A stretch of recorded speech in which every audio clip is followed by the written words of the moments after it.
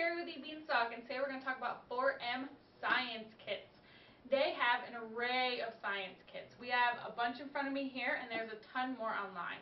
They deal with so many subjects of science. For instance, we have green science, uh, toys that go into science for the water, outer space, electricity, so many different sets, and they're all wonderful. We love them all. Our top selling happens to be the tin can robot, which takes a typical tin can, like a Coke can, and makes it into a functioning robot. We love it. Science kits are awesome for so many reasons. These ones especially because they're easy, they're fun, they're very affordable. A lot of them can be done by themselves. They don't need the parents' help, but a lot of them they do.